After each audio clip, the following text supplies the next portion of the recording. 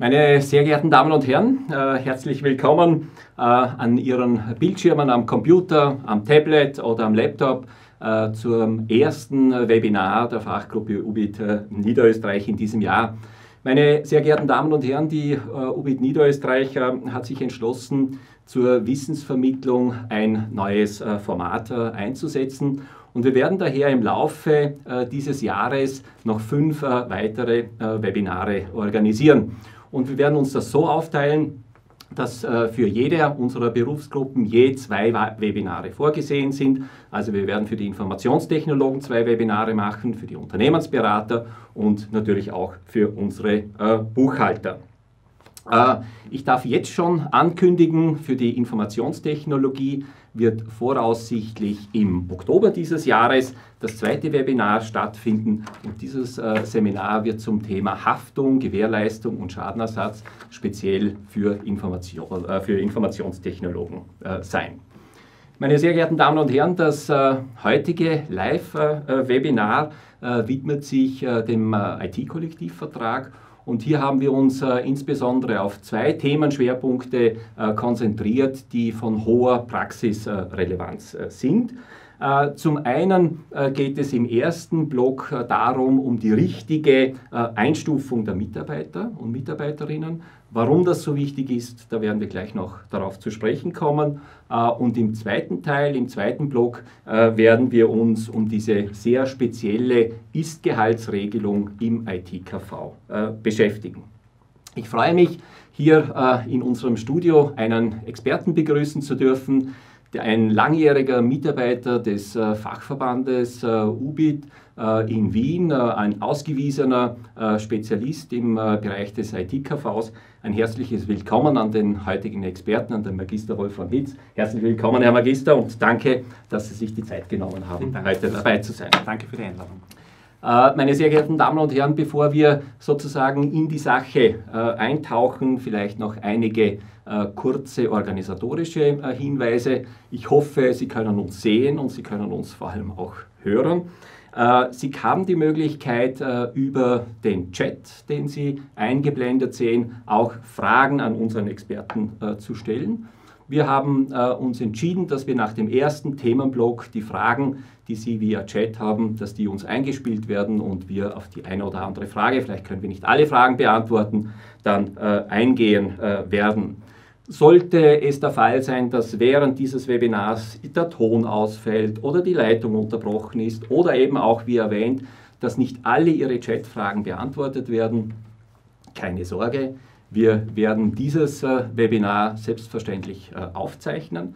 Das heißt, äh, Sie können dieses Webinar nachsehen und als äh, ganz besonderen Service äh, bieten wir Ihnen auch, dass Sie die Fragen und die Antworten unseres Experten dann auch nachlesen können. Äh, geben Sie uns dazu bitte sieben Werktage Zeit, das heißt also nächste Woche äh, wird das alles online gestellt, sowohl die Nachlese als auch die Nachschau. So, äh, dann äh, würde ich meinen, nachdem wir die organisatorischen Fragen äh, hier im, äh, geklärt haben, würde ich sagen, wir gehen in medias res. Wir beginnen mit dem, äh, mit dem ersten Themenblock, äh, nämlich der Frage der richtigen Einstufung der Mitarbeiter. Und ich habe das vorher erwähnt. warum ist das von hoher Praxisrelevanz? Herr Magister Hitz, es schwebt ja über den Unternehmen so eine Art ein Damoklesschwert, Stichwort das Lohn- und Sozialdumpinggesetz. In aller Kürze gesagt, wo liegt da der Hund begraben? Mhm. Ja, also es ist sicher notwendig, dass wir mit diesem Punkt äh, beginnen, weil äh, das ist eigentlich der Grund, warum wir uns so intensiv auch mit der Einstufung beschäftigen sollten. Neben vielen anderen Gründen kommen wir dazu. Aber was hat sich geändert? Äh, das Lohn- und Sozialdumping-Bekämpfungsgesetz gibt es ja seit vielen Jahren. Es hat aber eine massive Verschärfung seit dem Jahr 2015 gegeben, mit der Konsequenz, dass ich hier schon im strafbaren Bereich drinnen bin bei der Unterschreitung des arbeitsrechtlichen Entgelts nach Gesetz oder Kollektivvertrag. Das heißt, im Gegensatz zur Vergangenheit ähm, haben wir bereits bei einer falschen Einstufung, bei einem Überstundengrundlohn oder Zuschlag, den ich vergessen habe, bei Sonderzahlungen, die ich nicht korrekt ausbezahlt habe oder bei so Themen wie Zulagen, Zuschläge nach dem Kollektivvertrag ein potenziell strafbares Verhalten nach diesem Gesetz gegen die Unterentlohnung. Welche Konsequenz hat das? Eine sehr unangenehme Konsequenz, denn dieses Gesetz äh, bietet einen extrem hohen Strafrahmen für die Behörden. Äh, es beginnt bei 1000 Euro pro Arbeitnehmer und geht hinauf in Fällen, wo ich quasi Wiederholungstäter bin, wo es mehr als drei Arbeitnehmer betrifft, auf eine Strafzahlung von bis zu 50.000 Euro pro Arbeitnehmer. Wie kann ich mich dagegen schützen? Einerseits natürlich, indem ich jetzt aufmerksam dieses Webinar verfolge äh, und dann alles richtig mache. Äh, andererseits, wenn es mich erwischt, Straffreiheit bei vollständiger Nachzahlung und gleichzeitig, wenn ich nur geringfügiges Lohndumping begangen habe, da spricht der Erlass dazu von einer Grenze von 10% äh, der Unterschreitung oder wenn bloß leichte Fahrlässigkeit vorliegt und wann liegt die vor, wenn ich etwa von den Sozialpartnern eine falsche Auskunft erhalten habe oder eine andere Interpretation oder eben selbst eine vertretbare Rechtsansicht für die Abrechnung, für die Einstufung vertreten habe. Das ganz kurz zusammengefasst gäbe es natürlich noch Unmengen zu sagen. Äh, der Verweis bitte auch ähm, auf die Seite WKO.at, wo Sie noch eine Vielzahl an Informationen zum LSDBG im Detail finden. Aber warum um das noch einmal zu betonen, ist es hier auch so wichtig. Stichwort Einstufung habe ich schon gesagt, Stichwort ist der Erhöhung. Das sind Themen, wo wir wirklich ganz tief drinnen sind äh, in dieser Thematik. Ja. Vielleicht äh, dürfen wir noch erwähnen, bei diesem Thema der, der, Straffreiheit, das waren ja tatsächlich mühsame Verhandlungen, dann auch mit dem zuständigen Ministerium, wo sich dann die Wirtschaftskammer hier äh, durchsetzen konnte und diese, äh, diese Möglichkeiten der Ausnahme äh, der Bestrafung ermöglicht hat. Äh, Sie haben erkannt äh, oder gesehen, gehört von den Ausführungen von Magister Hitze, es ist ein Thema, diese richtige Einstufung der Mitarbeiter, äh, dem man wirklich große Sorgfalt, wo man große Sorgfalt walten lassen sollte. Und diesem Thema sollte man auch Aufmerksamkeit schenken. Jetzt gehen wir sozusagen in medias res noch einmal die korrekte, die, es geht um diese korrekte Einstufung und der Frage, wie ist denn dieser Kollektivvertrag aufgebaut? Mhm. Ich darf da mit einem ganz grundsätzlichen Schema beginnen nämlich äh, mit dem Schema des IT-Kollektivvertrages inklusive hier in dieser Grafik äh, der Mindestgrundgehälter. Wie man sieht, äh, relativ schlanke Struktur. Wir haben bloß äh, fünf Tätigkeitsfamilien und der große Unterschied äh, zu vielen anderen Kollektivverträgen, bloß drei Vorrückungsstufen. Also Sie kennen vielleicht andere Kollektivverträge, die dann immer wieder äh, Biennal-, Triennalsprünge drinnen haben. Das haben wir hier nicht. Äh, Grund ist, dass der Kollektivvertrag ja ein äh, relativ junger ist, also Anfang der 2000er wurde der erst geschaffen. Die ursprüngliche Idee von der Verteilung war, dass man sagt, ähm, im Bereich der IT, die Spezialisten sind primär in der ST1 einzustufen und nach links bzw. rechts äh, geht dann die Kurve herunter, also abgeflacht nach ATZ bzw. ST2 äh, und Leitung. Unsere Erfahrung aufgrund unserer Abfragen ist die, äh, dass die Mitarbeiter tendenziell zwar schon in der ST1, aber auch mit einem sehr starken Bauch Richtung ST2 mittlerweile eingestuft sind. Ob das stimmt, das werden wir jetzt gleich, das werden wir jetzt gleich erheben, meine sehr geehrten Damen und Herren. Wir haben nämlich auch ein Umfragetool äh, äh, eingerichtet und da bitten wir Sie, dass Sie teilnehmen und ich darf die Regie nun ersuchen, äh, diese Fragen einzublenden. Ich darf sie ganz kurz vorlesen, ich hoffe, Sie können es äh, lesen. Äh, in welcher Tätigkeitsfamilie haben Sie die meisten Angestellten beschäftigt? In den zentralen Tätigkeiten, allgemeine Tätigkeiten, spezielle Tätigkeiten, spezielle Tätigkeiten 2 äh, oder in der Leitung. Wenn Sie es nicht genau wissen, macht das auch nichts. Wenn Sie es nur sozusagen überhaupt einmal einschätzen, wo haben Sie die meisten äh, Beschäftigten äh, in Ihrem äh, Unternehmen eingestuft warten wir ab, ob das, was Sie vorausgesagt haben, Herr Magister, stimmt, wirklich stimmt. Also ist natürlich immer eine, eine gewisse Unschärfe möglich. Die Abfragen, die wir haben, sind österreichweit, wo es regional natürlich große Unterschiede gibt und auch äh, große Unterschiede von der Größe der Betriebe. Äh, also tendenziell in Betrieben, äh, die kleiner sind, äh, schaut es anders aus als in größeren Betrieben, aber ja, für mich immer wieder spannend, so etwas zu sehen. Gut, jetzt sehe ich, dass Ihre Prognosen stimmen. Ja, das ist beruhigend. Eigentlich also, so, wie man sich äh, das erwartet hatte von der Grundkonzeption des Kollektivvertrages. Äh, ja, vielleicht ein bisschen genau, ja. dass man ja. ganz unten, ganz oben ja. gar nichts hat. Also eindeutig die SD1, wo die meisten äh, Mitarbeiter beschäftigt sind. Herr Magister Hitz, in, äh, im KV sind auch einige Beispiele, was die Einstufung ja. anbelangt, äh, äh, angeführt. Ähm, wie gehe ich es jetzt an? Wie beginne ich jetzt mit dieser Einstufung? Mhm. Also die Beispiele sind natürlich in der Praxis eine große Hilfestellung, wenn man muss einräumen, die Einstufung äh, birgt große Schwierigkeiten oder stellt die Firmen vor Herausforderungen.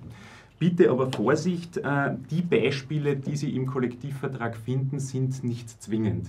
Äh, wir kennen zwar Judikatur aus anderen Kollektivverträgen, wo irgendwann das Höchstgericht gesagt hat, gut, weil es genau als Beispiel im Kollektivvertrag drinnen steht, muss ich meine Mitarbeiter so einstufen. Bitte lassen Sie sich aber in konkreten Verhandlungen dann nicht verunsichern, wenn der Mitarbeiter sagt, ich habe hier eine Liste an Tätigkeiten und genau diese eine Tätigkeit finde ich etwa in der SD1 oder in der SD2 aufgezählt. Diese Beispiele sind es wiederholt sich jetzt das Wort, aber so steht es auch drinnen, sind beispielhaft. Das heißt, ich orientiere mich grundsätzlich an den abstrakten äh, Beschreibungen und an den sonstigen Einstufungsregelungen. Mhm. Sowohl, äh, also eigentlich in jeder Tätigkeitsfamilie, da gibt es keinen Unterschied äh, zwischen ZT äh, oder Leitung oder den Stufen dazwischen. Mhm. Wir schauen uns jetzt ja gleich diese äh, verschiedenen Tätigkeitsfamilien im Detail an. Sie haben vorher gerade zum Schluss noch erwähnt, diese Vorrückungsstufen. Ja. Was hat es mit diesen Vorrückungsstufen mhm. auf sich? Die können wir insofern gerne äh, an dieser Stelle schon vorziehen, weil ich hier äh, mir etwas leichter tue, wie ich äh, mit den Vorrückungsstufen umgehe. Der Kollektivvertrag kennt, um das noch einmal zu wiederholen, insgesamt drei Vorrückungsstufen, nämlich die Einstiegs-, äh, die Regel- und die Erfahrungsstufe. Und dabei geht es darum, äh, erstens um die Anrechnung von Vordienstzeiten, zweitens um die Verweildauer in so einer Vorrückungsstufe. Bei der Anrechnung von Vordienstzeiten ist es so, dass der Mitarbeiter mir Vordienstzeiten nachweisen muss. Das heißt, er muss mir Zeugnisse bringen, Arbeitspapiere etc., aus denen ich als Arbeitgeberbetrieb dann wiederum den Schluss ziehen muss, in welche Vorrückungsstufe ist mein Mitarbeiter einzustufen. Die Herausforderung für Sie ist, dass Sie die früheren Tätigkeiten analysieren müssen, dass Sie sagen müssen, wo würde ich den Mitarbeiter fiktiv im IT-Kollektivvertrag einstufen, selbst wenn das äh, ein anderer Kollektivvertrag war, und wie viele Jahre sind hier tatsächlich anzurechnen. Ähm, drei Jahre kann ich maximal in der Einstiegsstufe bleiben, weitere vier Jahre maximal in der Regelstufe. Bitte große Falle, große Vorsicht. Äh, Anrechnung von Vordienstzeiten ist zwingend. Also da sind wir wieder ganz tief drinnen im LSDBG, große äh, Alarmglocke selbst wenn der Mitarbeiter Ihnen entgegenkommen will, also Sie kommen gehaltsmäßig nicht zusammen, Sie sagen, das ist für mich jetzt nicht so relevant, was du früher gemacht hast. Selbst wenn der Mitarbeiter verzichten würde auf eine höhere Einstufung, wenn Sie eine Kontrolle durch die Behörden haben, konkret eine Kontrolle durch die Gebietskrankenkasse im Hinblick auf äh, Lohn- und Sozialdumping, dann würde Ihnen das als falsche Einstufung gewertet werden. Egal, ob der Mitarbeiter damit einverstanden war oder nicht. Mhm. Sie haben diese Vordienstzeiten erwähnt. Jetzt ist es ja durchaus in der, in der IT üblich, dass man einen Wechsel zwischen Selbstständigkeit und unselbstständiger Tätigkeit. Also konkret die Frage, äh, wie schaut das aus, sind äh, selbstständige Tätigkeiten als Informationstechnologe als Vordienstzeiten anrechenbar? Klare Antwort nein. Ich darf das ein bisschen länger ausführen. Äh, der Hintergrund ist der, dass der IT-Kollektivvertrag in der konkreten Bestimmung in diesem Paragraph 15 des IT-KVs sagt, ähm, es geht um Tätigkeiten, die ich bei einem oder anderen oder mehreren Arbeitgebern, Arbeitgebern verbracht habe. Mhm. Das heißt, der IT-Kollektivvertrag erwähnt hier nichts von selbstständigen Zeiten. Ähm, lassen wir mal außen vor die Schwierigkeit, wie ich das Ganze nachweisen kann. Äh, es reicht jetzt ein Sozialversicherungsauszug, müsste ich Aufträge bringen etc. Also wie am Anfang gesagt, klare Antwort, selbstständige Zeiten sind nicht anzurechnen für die Einstufung. Mhm. Gut, dann kommen wir zu den Einstufungskriterien ja. äh, im, im Detail. Äh, Herr Magister Hitz, gibt es da so eine, Faustregel für die Unternehmen? Ja, also die wichtigste Regel ist die, äh, dass ich das Überwiegen in den Mittelpunkt stellen muss. Also der Kollektivvertrag sagt gleich am Beginn, wo er von den Einstiegs, äh, Ein Einstufungsregelungen spricht, es geht um den überwiegenden Teil, äh, um aus dem äh, KV zu zitieren, der durchgeführten Tätigkeiten, der ist maßgeblich. Was ist jetzt das Überwiegen? Wir wissen immer, Rechtsbegriffe sind ja dehnbar, auslegungsbedürftig. Überwiegen bedeutet in diesem Fall äh, mehr als 50 Prozent. Ich muss im Extremfall mir aufdröseln, wie schauen die einzelnen Tätigkeiten des Mitarbeiters aus, womit verbringt er seine Zeit, wie viele Stunden ist er mit der einen oder anderen Tätigkeit beschäftigt und komme dann zu einem Überwiegen. Das Ergebnis kann sein, dass der Mitarbeiter durchaus Tätigkeiten in sehr vielen Tätigkeitsfamilien verrichtet oder Tätigkeiten in höherwertigeren Tätigkeitsfamilien. Wenn im Ergebnis aber dann herauskommt, mehr als 50 Prozent zum Beispiel in der SD1, dann ist das für mich die konkrete, richtige äh, äh, Tätigkeitsfamilie. Wichtig auch hier bitte wiederum, das ist eine zwingende Regel, auch hier wiederum, äh, wenn Sie mit dem Mitarbeiter vereinbaren würden, einen Verzicht, ich kann ja niedriger eingestuft werden, das macht mir ja gar nichts aus, das ist nur zwischenmenschlich sozusagen möglich, rechtlich bringt es gar nichts und schlussendlich bei der Prüfung äh, durch die GKK äh, hätten sie wieder einen Verstoß nach dem Lohn- und Sozialgesetz. Also, also das Zauberwörtchen heißt überwiegend mehr genau. wie 50 Prozent und dann erfolgt die Zuordnung zu der entsprechenden Tätigkeitsfamilie. Ja, äh, was sind denn jetzt konkret die, die Unterscheidungsmerkmale dieser, dieser Tätigkeitsfamilien und können Sie uns da ein paar Beispiele nennen? Mhm, gern. Also ich begann ganz unten äh, oder beim Grundsatz, dass der IT-Kollektivvertrag äh, die Stufen nach dem Inhalt der Tätigkeit ansteigend äh, angeordnet hat. Also ganz unten bei den zentralen Tätigkeiten geht es primär um Hilfstätigkeiten. Tätigkeiten, äh, wo ich sehr stark den Weisungscharakter im Vordergrund habe.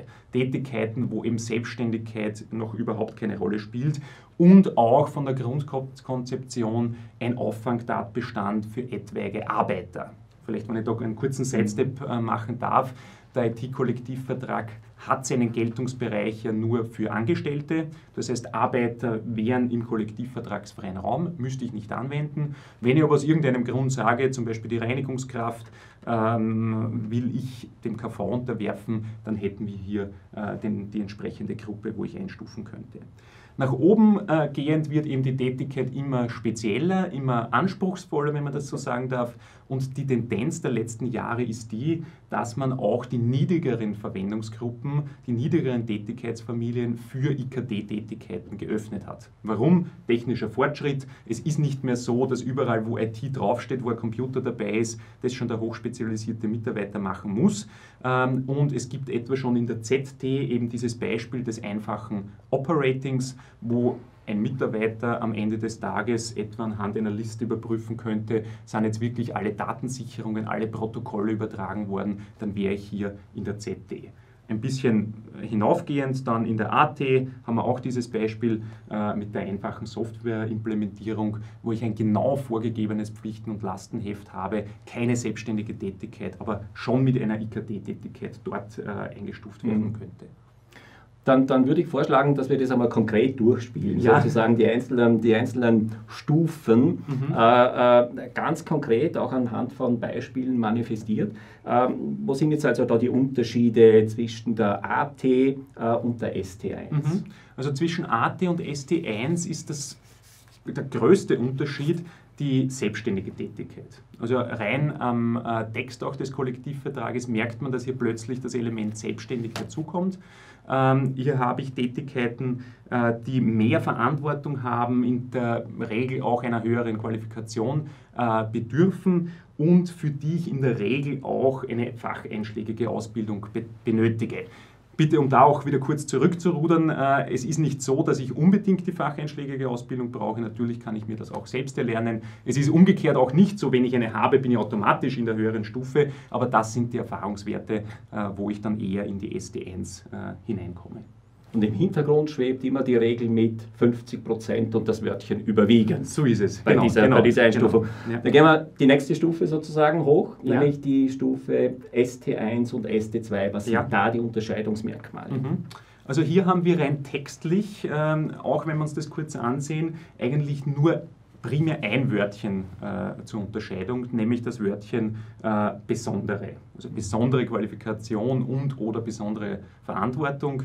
Und in einem zweiten Schritt haben wir auch noch äh, dabei die fachlichen oder personellen Managementaufgaben.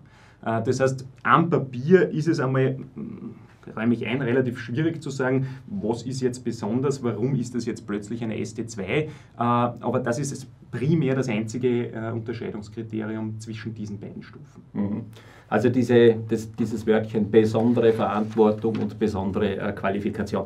Herr Magister Hitz, vielleicht auch hier ganz konkrete Beispiele, mhm. an denen man das mhm. manifestieren kann. Genau. Ähm, vielleicht, wenn man noch einmal einen Schritt zurückgehe, also von den Tätigkeitsfamilien, wir haben ja gesagt, in der ZT, um hier den, den Faden noch einmal aufzunehmen, haben wir die sehr einfachen, eher äh, Weisung unterliegenden Tätigkeiten. In der AT ändert sich das. Äh, ein konkretes Beispiel vielleicht zur Unterscheidung von AT zu ST1 wäre etwa die Support-Tätigkeit. Also in der AT kann ich einen Mitarbeiter im einfachen Support einsetzen, der vor sich hat Listen, Fragen genau vorgegeben, was fragt er den Kunden, ähm, wie geht er mit der Fragestellung um, was macht er, wenn die Antwort XY kommt. In der SD1 habe ich wiederum einen Support-Mitarbeiter unter Umständen, der aber schon Fragen mit höherer Komplexität beantwortet der bei einer Antwort dann schon eine selbstständige äh, Lösung versucht zu finden, der dann auch äh, sozusagen der ist, wo es hin eskaliert ist, unter Umständen auch schon die letzte Instanz in dieser Supportkette. Das wäre mal von unten beginnend AT mhm. zu, zu SD1 die Unterscheidung. Und wenn man sich jetzt SD1 äh, zu SD2 äh, ansieht, dann ähm, würde ich gern diese zwei Teilbereiche der allgemeinen Beschreibung herausglauben. Also einerseits äh, haben wir drinnen die fachlichen oder personellen Managementaufgaben, was bedeutet, das kann ein Mitarbeiter sein, der etwa ein Team von SD1 Mitarbeitern leitet der ein Alleinstellungsmerkmal zusätzlich hat. Das heißt, er verfügt über besondere Skills. Äh, das ist ein Spezialist, ähm, der das kann, was sonst kein Programmierer oder Designer kann. Das kann ein Mitarbeiter in der Entwicklungsabteilung sein, der jetzt die Projektverantwortung übernimmt der das Pflichtenheft erstellt und der gleichzeitig aber auch zusätzlich noch eine Budgethoheit hat. Das heißt, dieser Mitarbeiter ist der erste Ansprechpartner für den Kunden. Der Kunde kommt, hat einen Änderungswunsch und dieser Mitarbeiter sieht sich an, ist das erstens machbar? Zweitens, wenn es machbar ist, was bedeutet das finanziell? Und drittens, ist das von diesen Projektkosten auch noch gedeckt? Viertens würde sich vielleicht sogar dann gleich noch darum kümmern, welcher konkrete Mitarbeiter setzt das um. Und der hätte, von, um in diesem Beispiel zu bleiben, jetzt ein Team ähm, an Entwicklern, die dann wiederum nach den vorher genannten äh, allgemeinen Umschreibungen entweder in die SD1 oder in die AT einzustufen sind, je nachdem, wie sehr sie selbstständig tätig sind, wie sehr sie Verantwortung äh, übernehmen, wie hoch der Schwierigkeitsgrad äh, ist der Tätigkeit, die dann auszuführen ist. Mhm. Also man muss sich wirklich damit beschäftigen, mit diesen ja. Tätigkeitsfamilien, man ja. muss sich wirklich auseinandersetzen damit mhm. äh, und äh, die entsprechende Sorgfalt hier walten lassen und nicht einfach nur äh, kurz die Einteilung machen, sondern äh, sich durchaus überlegen, und noch einmal auch hier erwähnt, ich glaube, die ist nämlich wirklich sehr wichtig, ja. nämlich dieses Überwiegen und dieses genau. mehr als 50 Prozent dann äh, letztlich dann die Entscheidung, welcher Tätigkeitsfamilie das unterzubringen ist. Ähm, da Wenn ich da nur kurz einhaken ja. darf, nämlich äh, mit dem, mit dem Auseinandersetzen, äh, bitte machen Sie das jedenfalls zu Beginn des Arbeitsverhältnisses. Also wir werden hier sicherlich viele äh, Zuseherinnen und Zuseher haben, äh, die schon laufende Arbeitsverhältnisse haben, die vielleicht auch jetzt noch einmal sagen, ich schaue mir das genauer an. Aber primär ist es natürlich ein Thema am Beginn des Dienstverhältnisses. Es ist eine mühsame, es ist eine administrative Geschichte. Sie sind Unternehmer, Sie haben vermutlich andere Dinge äh, auch noch, also sicher andere Dinge auch noch zu tun. Ähm, aber wenn ich es am Anfang korrekt mache, mhm. erspare ich mir einen Rattenschwanz an Problemen, den ich später nicht mehr so leicht ausmachen ah, ja, Das ist sicher zu berücksichtigen. Gut, dann gehen wir vielleicht noch zur, zur allerletzten und nämlich zur höchsten ja. Stufe hinauf, nämlich die LT, nämlich diese Leitungsstufe. Mhm. Jetzt haben wir schon gesagt, äh, bei der ST2 sind schon besondere Verantwortung und besondere Qualifikationen. Also was sind denn die Kriterien, dass ich wirklich äh, in der Leitungsstufe eingestuft mhm. werden kann? Äh, wie jetzt unsere Umfrage schön gezeigt hat, ich komme sehr schwer in die Leitungsstufe. Also wenn ich es jetzt richtig im Kopf habe, haben wir dort ja keine Rückmeldung bekommen, dass bei unseren Zuseherinnen und Zusehern jemand in der Leitungsstufe wäre. Ist die Erfahrung, die die wir machen. Wann komme ich in die Leitungsstufe? Primär in sehr großen Betrieben und zwar dann, wenn ich noch eine Zwischenhierarchie aufgebaut habe. Das heißt, da habe ich ganz oben die Geschäftsführung, den Vorstand, dann habe ich darunter äh, meine normalen Mitarbeiter sozusagen oder Abteilungsleiter und dazwischen hätte ich noch jemanden, der dazwischen geschaltet ist. Bitte nicht den Fehler machen, das kommt oft in der Beratung das Thema, dass ein Mitarbeiter sagt, ich leite ja ich habe Mitarbeiter, ich bin in einer Leitungsfunktion. Darum geht es nicht in dieser Stufe. Ähm, es geht auch nicht um die Definitionen des Arbeitszeitgesetzes oder Arbeitsverfassungsgesetzes, wo wir ja auch einen leitenden Angestellten kennen. Hier habe ich wirklich einen Mitarbeiter, der, wie gesagt, ein bisschen so Stellvertretungsfunktion für einen vielleicht ein bisschen weiter äh, wegsehenden Geschäftsführer oder Vorstand übernimmt. Wer könnte das sein? Etwa der Leiter eines Entwicklungsbereiches, der darunter wiederum viele Teams, Abteilungsleiter hat, die ihm direkt berichten und die gar nicht in die Ebene hinaufkommen äh, zum Vorstand, zur Geschäftsführung. Wie gesagt, in der Praxis oftmals, also nicht so häufig vorkommend, wenn dann oftmals auch ein Zuckerl für lang gediente Mitarbeiter, die man dort nicht einstufen müsste, aber wo man dann sagt, gut, du bist jetzt 15 Jahre bei mir, hast alle Stufen durchlaufen, äh, aus, aus optischen Gründen stufe ich dich dort jetzt ein. Ja da stellt sich für mich gerade eine Frage, die aus, aus der Praxis nämlich kommt. Kürzlich hat mich jemand angerufen, mit dem ich das also durchgegangen bin, mhm. diese, diese Tätigkeitsfamilien. Äh, äh, und äh, das Mitglied dann gesagt hat, naja, das ist also wirklich schwierig und was jetzt überwiegt und könnte mhm. ich ihn da und dort. Und dann hat er von sich aus gesagt, naja, bevor ich mir das jetzt antue tue, und das Damoklesschwert des sozusagen des, des Lohn- und Sozialdumpinggesetz, dann stufe ich ihn halt einfach automatisch höher ein und dann habe ich das Problem nicht. Mhm. Ist das wirklich eine Lösung? Aus meiner Sicht nein. Mhm. Äh, es wird Fälle geben, wo ich im Zweifel bin, wo ich sage, das steht auf des Messers Schneide und bevor ich irgendwann einmal eine Gerichtsentscheidung bekomme, sage ich von mir aus in dem Fall, das ist budgetär noch drinnen, das kann ich irgendwie argumentieren, dass ich meinen Mitarbeiter höher stufe. Präventiv höher stufen würde ich jedenfalls vermeiden. Warum? Erstens aus psychologischer Sicht. Ähm, Sie kennen das, dass der Mitarbeiter ja immer auch einen gewissen Entwicklungsschritt haben möchte. Äh, ich habe hier relativ eingeschränkte Vorrückungsstufen. Ich habe eine sehr schlanke Tätigkeitsfamilienstruktur. Das heißt, der Mitarbeiter ist sehr schnell am Plafond oder ist schon wo eingestuft, wo er eigentlich gar nicht hineingehören würde. Aus Sicht des Lohn- und Sozialdumping-Bekämpfungsgesetzes habe ich das zweite Problem, nämlich, dass ich mir ein Schlupfloch sozusagen wegnehme. Warum ein Schlupfloch? Ähm, das Lohn- und Sozialdumping-Bekämpfungsgesetz stellt auf die Einstufung ab und sagt, alles, was du überzahlst, kann dir angerechnet werden, wenn wir in irgendeiner Form auf eine Unterzahlung äh, draufkommen. Wenn ich jetzt aber meine Mitarbeiter automatisch höher einstufe, ist die Berechnungsbasis natürlich eine viel größere und meine Luft sozusagen in der Diskussion, ich habe vielleicht doch nicht unterbezahlt, ist weg. Das heißt, in Zweifelsfragen könnte es manchmal, sehr juristisch, das fünfmal abgesichert, äh, der Fall sein, äh, dass es sich auszahlt, in der Regel aber bitte nicht. Hm. Also ich glaube, das ist eine ganz wichtige, ganz eine wichtige Aussage, äh, hier da nicht äh, vorzupreschen sozusagen und den äh, Arbeitnehmer einfach höher einzustellen, äh, im Glauben oder vielleicht auch im Irrglauben, dass, dass einem da nichts, nichts passieren kann. So, wir hätten den ersten Themenblock hätten wir abgeschlossen und die Regie hat mir eine, eine Chat-Anfrage von Ihnen äh, eingespielt. Äh, leitender Angestellter, wie wird die kollektivvertragliche Entlohnung überprüft? wenn keine auf Arbeitsaufzeichnungen geführt werden, mhm. Klammer auf, müssten. Wir diese Hits? Ja, also eine sehr komplexe Frage. Also die würde jetzt den Rahmen sprengen, um, um auf alle Teilaspekte hier ja. einzugehen. Aber vielleicht zwei, drei Sätze dazu, was wird hier angesprochen. Äh, wenn ich einen leitenden Angestellten nach dem Arbeitszeitgesetz habe, wird, wie hier schon in der Frage drinnen steht, äh, laut Gesetz ist es nicht notwendig, dass ich Arbeitszeitaufzeichnungen führe. Jetzt haben wir natürlich das Thema, ähm, wie prüfe ich dann den KV, wenn es eben um Überstundenleistungen äh, etc. geht. Dann würden die Behörden ja sagen, du bist eingestuft, du hast so und so viele Überstunden äh, äh, gemacht. Ähm, es ist ein bisschen eine, eine, Diskussionsfrage, ob jetzt der leitende Angestellte im LSDBG speziell äh, zu behandeln ist äh, oder nicht.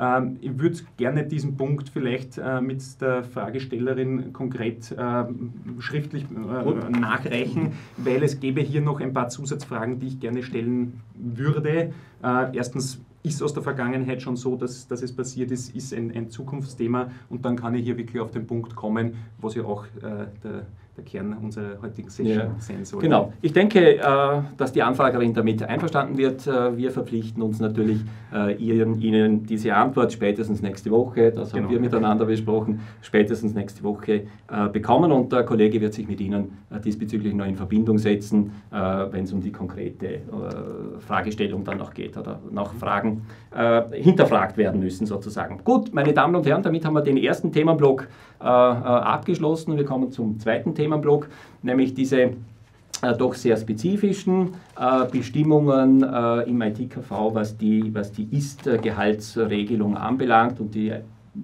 KV-Gehaltsregelung an, anbelangt. Herr Magister Hitzer, was gibt es da für Besonderheiten mhm. im ITKV? Man muss zunächst unterscheiden äh, im Kollektivvertrag zwischen der normalen KV-Erhöhung und der Ist-Erhöhung. Ähm, wenn Sie einen Überblick über mehrere Kollektivverträge äh, haben, werden Sie ja wissen, das ist in jedem KV-Thema, hm, habe ich jetzt die eine oder die andere Variante. Äh, der IT-Kollektivvertrag sagt grundsätzlich einmal etwas dazu zur Erhöhung der Mindestgehälter. Das heißt, ich muss mir mal meine Mitarbeiterstruktur ansehen. Habe ich Mitarbeiter, die genau am KV sind oder habe ich Mitarbeiter, die überzahlt sind? Im heurigen Jahr gibt es ja wieder einen Abschluss mit 1.1.2016. Ausnahmsweise, bitte Vorsicht, rückwirkend. Mhm. Äh, es waren ja eher intensivere und, und längere äh, Verhandlungen, die erst dann im, im, Februar zu Ende gebracht werden konnten. Bitte Vorsicht, rückwirkend mit 1.1.2016 allfällige Erhöhungen, das wurde auch ausdrücklich hineingeschrieben. Also wenn Sie bereits mit 1.1.2016 eine Erhöhung gegeben haben, äh, aus welchen Gründen auch immer, dann können Sie diese anrechnen. Also Sie müssen nicht noch einmal auf eine allfällige Erhöhung äh, etwas drauflegen. Das Spezifikum äh, dieses Kollektivvertrages ist jetzt die Ist-Erhöhung. Nicht, weil sie eine Ist-Erhöhung an sich ist, sondern weil sie anders strukturiert ist als die, die man äh, in der Regel kennt. Erstens einmal, es gibt keine Aufrechterhaltung der Überzahlung. Zweitens, es gibt kein Gießkannenprinzip. Und das ist eigentlich der große Benefit äh, für die Mitglieder, dass ich mit dieser Ausschaltung äh, des Gießkannenprinzips wirklich Leistungsträger stärker belohnen kann ähm, und hier betriebsintern äh, meinen Topf ja, ganz einfach, wie ich will, verteilen kann. Uh, Umsetzung spätestens mit 1.7.2016 und noch die große Besonderheit, es gibt diverse Ausnahmen von der Ist-Erhöhung, uh, die in der Form eigentlich auch nur der IT-Kollektivvertrag kennt. Auf die kommen wir gleich zu sprechen. Äh, aber wir haben auch hier eine, eine, eine, eine Umfrage eingebaut und ich darf nun die Regie ersuchen, die Fragen für Sie und für uns hier im Studio einzublenden. Hier sind sie schon. Ähm, haben Sie 2015 von den Ausnahmebestimmungen der, der Ist-Erhöhung Gebrauch gemacht? Wenn ja, und das kann ich das nicht weiterlesen, Sie sehen, das ist alles live, weil das abgeschnitten ist von mir, treffen Sie eine Wahl. Das ist, die, das, ist das Entscheidende. Äh, erstens diese 10% Neun-Personen-Klausel, die 15% Einmalzahlung, beide oder haben Sie keiner dieser Ausnahmemöglichkeiten äh, äh, genutzt? Bitte stimmen Sie hier mit ab. Wie gesagt, es ist nicht erforderlich, dass Sie jetzt in Ihren Unterlagen nachgraben, äh, wen Sie, wie, wie Sie das gemacht haben, sondern einfach gefühlsmäßig auf die Schnelle, wo haben Sie diese Ausnahmebestimmungen äh, bereits äh, okay. angewendet und die, äh, das Ergebnis ist ganz klar, Sie haben keine Ausnahme genutzt, das ist der überwiegende, der genau. überwiegende Teil.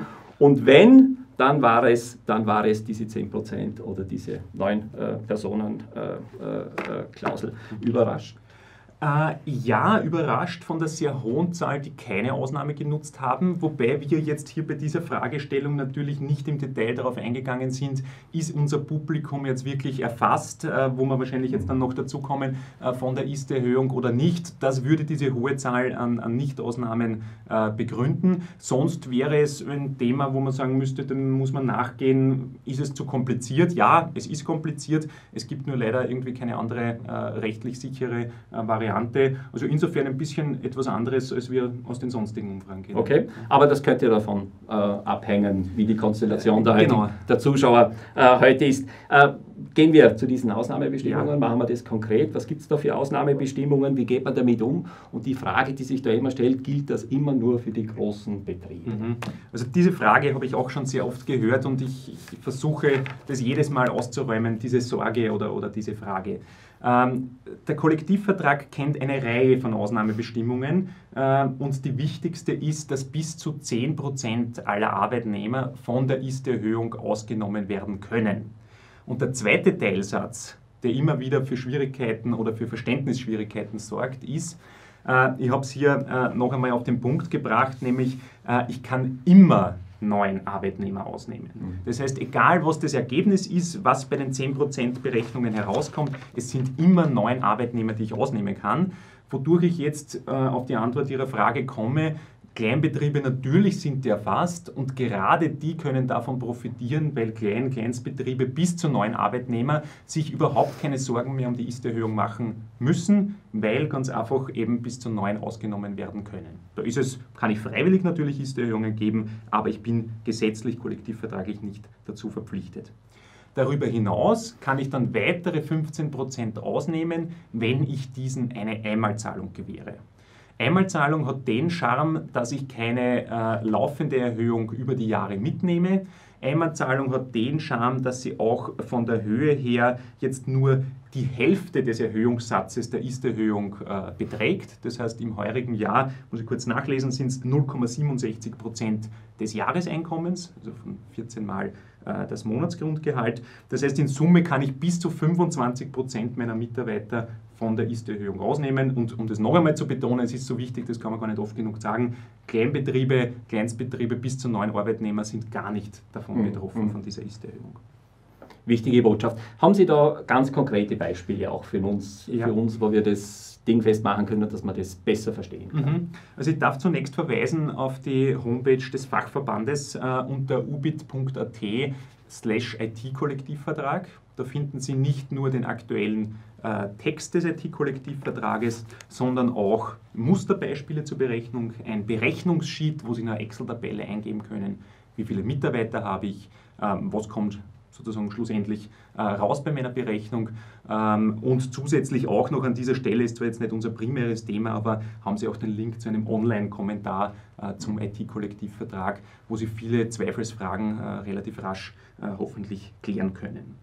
Die zwei Kurzbeispiele, die ich äh, für Sie vorbereitet habe, ähm, lauten wie folgt. Im ersten Beispiel haben wir in Summe 20 Arbeitnehmer. Davon sind 10 genau am Mindestgehalt, 10 sind äh, Ist-Bezieher. Wie vorher gesagt, bis zu 9 Angestellte können jetzt, ohne dass ich auf die 10% achte, sofort ausgenommen werden von der Ist-Erhöhung. Das heißt, ich bleibe dann bei insgesamt 11 Angestellte, die ich mir anschauen muss dann nehmen Sie die Gehaltssumme her. Das ist im Kollektivvertrag relativ äh, lang äh, beschrieben, aber Sie schauen sich jetzt wirklich an, diese elf Angestellten, welche Gehaltssumme hatten die damals im letzten Jahr, und zwar im äh, Oktober 2015, welche Gehaltssumme haben die im Juli 2016. Und die Differenz, die herauskommt, müsste den Erhöhungsbetrag der Ist-Erhöhung ergeben, nämlich die 1,34 Prozent. Der Vorteil in diesem Beispiel ist der, dass sie ja bei den Mindestbeziehern bereits mit 01.01.2016 um 1,39 Prozent erhöhen mussten. Also das ist immer der Abschluss, äh, dass der Mindestsatz höher angehoben wird als der Istsatz. Das heißt, in unserem konkreten Beispiel äh, hätten Sie durch die Mindestbezieher bereits alles aufgeteilt, was Sie aufteilen müssen und wäre keine weitere Erhöhung mehr notwendig. Das bitte auch ein wichtiger Punkt, der gelegentlich vergessen wird. Mhm. Ähm, das zweite Kurzbeispiel ähm, wäre, wenn Sie nur vier Mitarbeiter auf Mindestkollektivvertrag äh, eingestuft haben, dafür aber 15 Angestellte auf Ist, also in Summe haben Sie dann 19 Mitarbeiter, dann gehen wir zunächst wieder mal so vor, dass wir neun Arbeitnehmer sofort ausnehmen, äh, kommen eben auf diese äh, 10, die übrig bleiben, bei denen wiederum dasselbe Spiel. 1,34 Prozent muss ich die Gehaltssumme erhöhen. Auch wiederum dasselbe Spiel, ich schaue mir an, was haben die Mindestbezieher bereits bekommen, diese Differenz äh, ziehe ich ab. Und die offene Differenz muss ich dann auf die verbleibenden äh, Ist-Bezieher, und zwar sind das in dem Beispiel nur mehr sechs Personen, aufteilen. Ähm, Alternativ könnte ich dann auch noch Gebrauch machen von der zweiten Regelung, nämlich den 15% äh, der Einmalzahlung. Und Sie sehen dann, welches konkrete Ergebnis hier herauskommen würde. Ich schaue immer nach, dass ich Ihnen nichts Falsches sage, weil es doch relativ viele äh, Zahlen sind. Äh, das wären dann eben die restlichen Angestellten äh, acht äh, und dann wären nur mehr insgesamt vier Mindest-Ist-Bezieher, äh, die erhöht werden müssten. Das Ganze jetzt relativ kursorisch und schnell, aber ich glaube, an diesen Beispielen sieht man schon einmal die wichtigsten Grundsätze äh, der Erhöhung. Ja, es ist durchaus ein bisschen komplex ja. und man muss sich dann mit, mit, diesem Thema natürlich auseinandersetzen. Aber äh, vielleicht nur ein Zusatz, äh, es ist schon spannend, dass äh, für den Unternehmer da eine ziemlich große Flexibilität eingeräumt wird. Er kann also seine Mitarbeiter durchaus fördern oder vielleicht genau. nicht so fördern, ja. um das einmal vorsichtig auszudrücken. Das gibt es ja vergleichsweise in anderen Kollektivverträgen. Da sind uns einige, glaube ich, neidisch so darum, dass wir so eine Regelung, eine relativ flexible Regelung, wenn sie auch komplex sein mag, ja. Äh, in unserem ITKV äh, dort genau. haben. Also das darf man nicht vergessen, äh, bei all der Schelte, die wir auch immer bekommen haben zum Thema Komplexität, von dem mache ich ja gar nicht Gebrauch, ähm, das versteht ja keiner.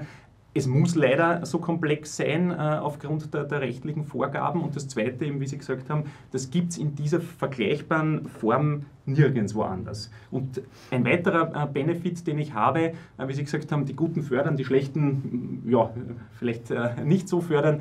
Äh, der Kollektivvertrag kennt auch keinen Mindestbetrag. Das heißt, ich kann, bin nach unten offen, wie viel ich meinen Mitarbeiter gebe. Das ist eine langjährige Forderung der Gewerkschaft, dass zumindest 30, 40, 50 Euro als Mindestbetrag meinem Mitarbeiter als Ist-Erhöhung gegeben werden soll, gegeben werden muss. Äh, das konnte bis jetzt immer abgewehrt werden und wie gesagt, unternehmerische Freiheit, wie ich es gestalte. Mhm. Eine, eine Frage noch zum, zum Abschluss zu diesem Thema. Äh, Sie haben ja schon erwähnt, die Kollektivvertragsverhandlungen haben sich heuer ein wenig äh, hinausgezögert. Das war nicht so einfach mit der Gewerkschaft auf gleich zu kommen. Äh, eine Frage, die in der Praxis immer wieder, wieder auftaucht, ist jetzt äh, diese äh, Ist-Erhöhung spätestens mit 1.7.2016 umzusetzen. Gilt das jetzt auch rückwirkend? Weil der Kollektivvertrag, die KV-Gehälter werden ja rückwirkend sozusagen. Mhm. Ja, ich nicke zwar mit dem Kopf, aber die Antwort ist nein. nein. Äh, äh, hier haben wir den großen Unterschied zwischen den äh, Ist-Beziehern und den Mindestbeziehern. Ähm, die Ist-Erhöhung ist wirklich spätestens erst mit Wirkung 1.7.2016, das heißt mit dem Juli-Gehalt umzusetzen und ich muss ja rückwirkend nichts aufrollen. Das heißt, ich kann die Erhöhung äh, bis dorthin aufschieben, ohne Konsequenzen für die Vergangenheit. Sie können natürlich sagen, Benefit für den Mitarbeiter, ich erhöhe bereits im Jänner, im Februar, im März, wann auch immer. Sie müssen aber nicht. 1. Juli, also Juli-Gehalt, ist ausreichend. Mhm. Okay, dann haben wir das abgeschlossen. Meine sehr geehrten Damen und Herren, damit wäre der zweite Themenblock, den wir, den wir hier äh, abschließen können. Es ist eine Frage über den äh, Chat äh, hereingekommen. Vielleicht lesen wir es gemeinsam. Wenn ich überbetrieblich bezahle, muss ich dann äh, bei einer Erhöhung der Vorrückungsstufe in gleicher Höhe überzahlen oder kann ich hier laut Kollektivvertrag mhm. zahlen? Also es geht offenbar darum, dass, da gehe ich vielleicht bei den Folien noch einmal kurz zurück, um hier ein Beispiel machen zu können, nämlich über die Übersicht, die wir ganz am Anfang ja. hatten. Ich muss schauen, ob die Regie, ob das mithüpft. Ja, genau, das da haben wir schon. Jetzt, ja. Einstufung äh, Schema IT-Kollektivvertrag. Ähm, machen wir das Beispiel, der Mitarbeiter wäre in der AT ähm, in der Regelstufe eingestuft, würde 2219 Euro mindestens äh, bekommen müssen bekommt konkret von mir aus 2400 Euro. Und die Frage stellt darauf ab, ähm, wenn er jetzt in die Erfahrungsstufe mit 2689 kommt, muss ich dann diese Überzahlung in meinem Beispiel von 181 Euro mitnehmen oder nicht? Nein, muss ich mit, nicht mitnehmen. Wir haben zwar an einer anderen Stelle noch eine Regelung, den sogenannten Weiterqualifizierungsbonus, wo ich äh, eine, ähnliche Regelung habe, aber da geht es um die Vorrückung von einer Tätigkeitsfamilie in die nächste. Aber wenn ich innerhalb derselben Tätigkeitsfamilie bleibe, nein, dann kann hier die Überzahlung äh, aufgefressen, angeknabbert, was auch immer werden äh, durch diese, diese Vorrückung. Mhm, danke für die Beantwortung dieser Frage. Mhm. Und an dieser Stelle sei noch einmal betont, dass Sie diese Frage dann oder die Antworten dazu zu Ihrer Frage dann auch noch schriftlich äh, nachgereicht äh, bekommen nächste Woche.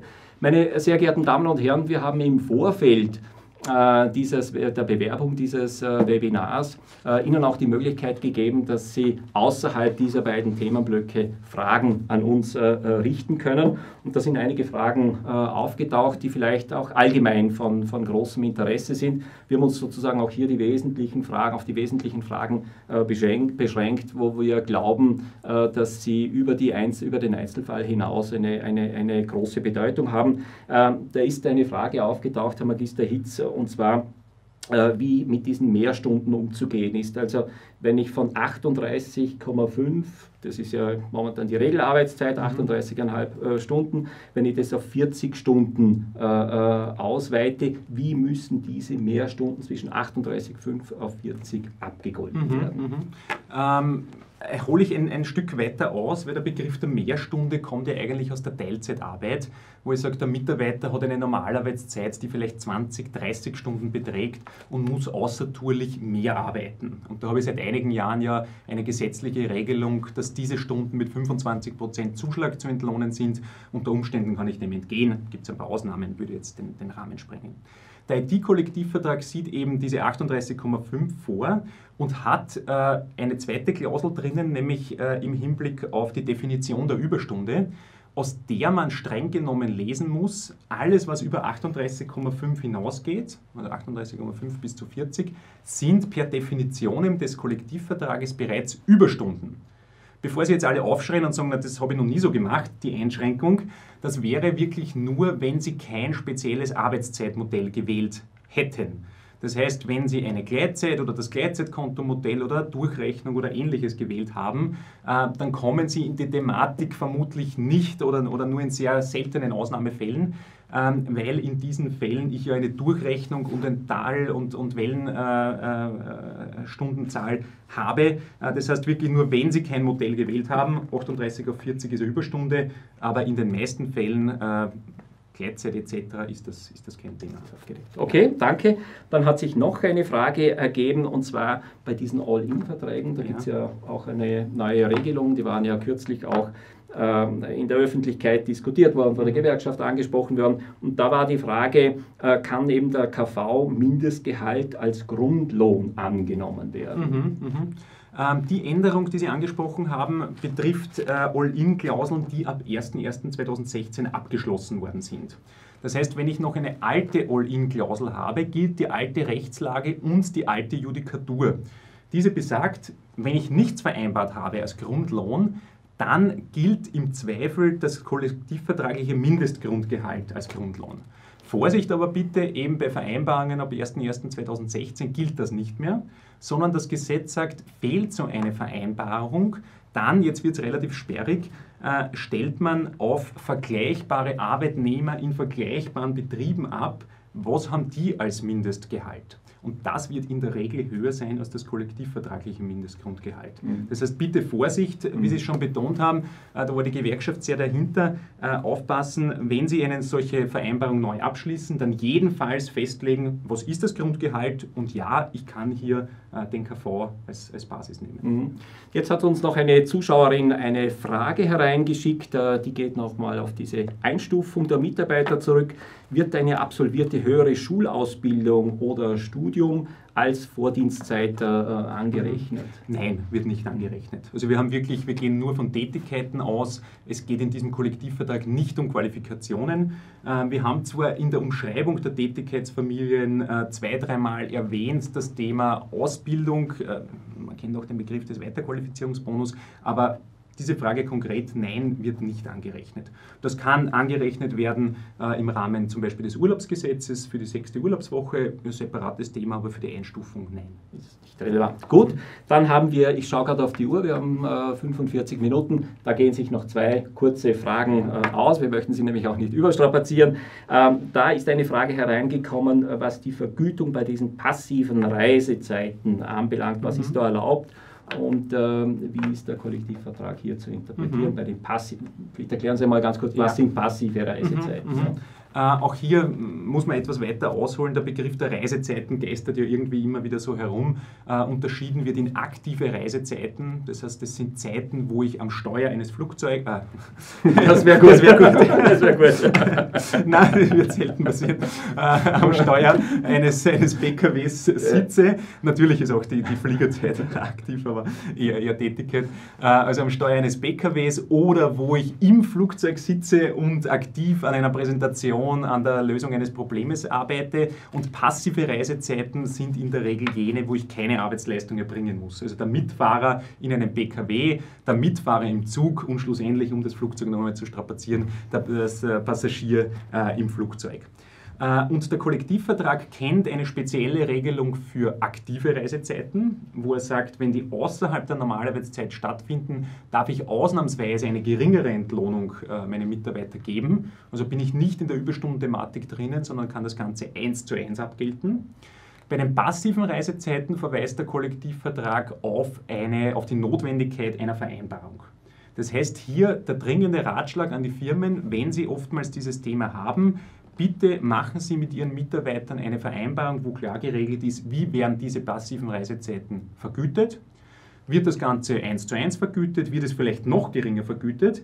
Weil hier habe ich laut der Judikatur und laut der Lehre einen großen Spielraum, äh, wo ich, ist jetzt die Meinung von Professor Schrank, damit ist er ziemlich alleine, aber ich sage es ergänzend, sogar bis auf Null heruntergehen kann. Also der ist der Meinung, eine passive Reisezeit, wenn ich im Flugzeug drinnen sitze, muss ich gar nicht bezahlen. Mhm. Ähm, müssen halt schauen, wie sie mit dem Mitarbeiter klarkommen, äh, was sozusagen okay. die Schmerzgrenze ist äh, und wie motiviert er ja, genau.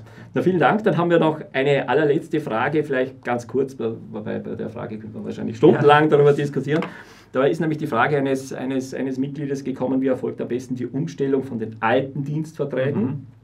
also was Tätigkeitsfamilien gegeben hat, auf neue äh, Verträge im Rahmen des aktuellen äh, IT-KVs. Nämlich auch die Frage, alt auf neu, was sind denn so die wesentlichen Punkte, die man da beachten sollte? Mhm. Also der erste Punkt ist, Sie finden auf der Seite WKO.at unter dem Bereich ähm, Arbeitsrecht beziehungsweise auch auf der Seite der Fachgruppe beziehungsweise des Fachverbandes Musterdienstverträge. Also das sei Ihnen wirklich ans Herz gelegt, dass Sie sich dort einmal reinklicken, einen Musterdienstvertrag, der speziell eben für die äh, IT-Branche äh, ausformuliert wurde mit Beachtung der kollektivvertraglichen äh, Besonderheiten. Wenn Sie jetzt eben das Thema haben, Sie hatten bis jetzt noch keinen Vertrag oder einen, wo eben genau diese Einstufungsthemen gefehlt haben, dann bitte so schnell als möglich einen neuen machen mit äh, ein bisschen an Risiko. Wenn Sie nämlich aus der Vergangenheit eine Diskussion bezüglich der Einstufung haben, dann bitte machen Sie nicht den Fehler, dass Sie sagen, mit Stichtag X stelle ich es jetzt richtig, mit Stichtag was haben wir heute, 12. Äh, April, mache ich es jetzt alles völlig richtig und räume sogar ein, in der Vergangenheit habe ich den Mitarbeiter falsch eingestuft. Warum sollten Sie das nicht machen? Weil der Mitarbeiter dann natürlich aus der Vergangenheit noch Ansprüche geltend machen könnte oder wiederum äh, die Gebietskrankenkasse oder die Finanz, die hier Differenzzahlungen äh, von Ihnen verlangen könnten. Wenn Sie so ein Thema haben, bitte nehmen Sie Rechtsberatung in Anspruch und machen auch in irgendeiner Form eine Vergleichsvereinbarung, wo äh, festgehalten wird, dass alle offenen Ansprüche ausgeräumt sind. Ähm, sonst, wie gesagt, nur der dringende Rat, äh, bitte so schnell als möglich das korrekt machen und vielleicht in einer Präambel noch betonen, dass man sich gemeinsam die Tätigkeiten angesehen hat, äh, dass der Mitarbeiter wirklich ausdrücklich damit einverstanden ist, dem zustimmt, etc. etc. Ja, vielen Dank. Vielleicht auch noch der, der Hinweis in diesem Zusammenhang, Sie haben es äh, erwähnt, äh, machen Sie solche Dinge nicht äh, selbstständig und Gefühl, aus dem Gefühl heraus, sondern nehmen Sie da Unterstützung in Anspruch. Das sind die Bezirksstellen bei uns in der Wirtschaftskammer Niederösterreich, die, Ihnen, die Ihnen für alle Arbeitsrechtsfragen zur Verfügung stellen. Sie können auch uns fragen in der, in der Fachorganisation.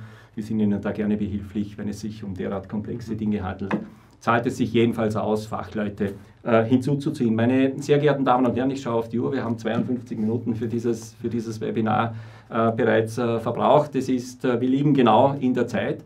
Äh, an dieser Stelle äh, noch einmal der Hinweis, dass wir Ihnen nächste Woche sowohl dieses, den Inhalt dieses Webinars sowohl bildlich als auch zum Nachlesen zur Verfügung stellen werden. Es werden alle Chatfragen, die vielleicht dann noch kommen, werden auch noch äh, schriftlich äh, beantwortet.